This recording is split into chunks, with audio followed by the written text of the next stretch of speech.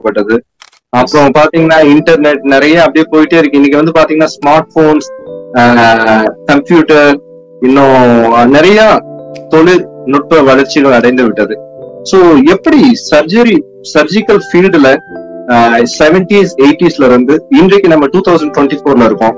So எப்படிப்பட்ட பரிணாம மாற்றத்தை எப்படிப்பட்ட டிரான்ஸ்பர்மேஷனை மருத்துவ உலகம் எஸ்பெஷலி இந்த ஃபீல்ட் ஆஃப் சர்ஜரி சர்ஜரி அடைஞ்சிருக்கு சார் அதை சொல்லி அதை ஷேர் பண்ண முடியுமா சார்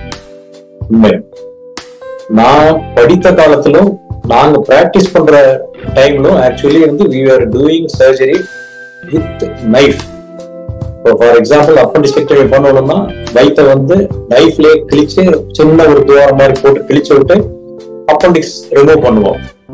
அப்புறம் நாங்க அந்த மாதிரி எயிட்டி ஃபைவ் வரைக்கும் பண்ணிட்டு இருந்தோம் ஃப்ரம் செவன்டிஸ் சிக்ஸ்டீஸ் எல்லாம் அந்த மாதிரி நடந்துட்டு இருக்கு.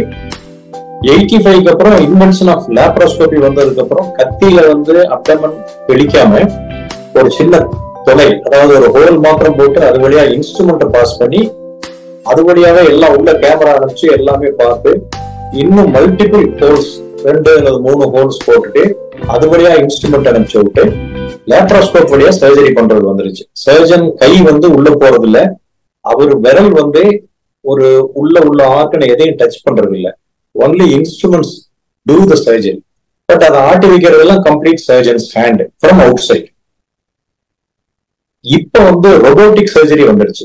ரொபோட்டிக் சர்ஜரி மீன்ஸ் அந்த சர்ஜிக்கல் டூப்ஸ்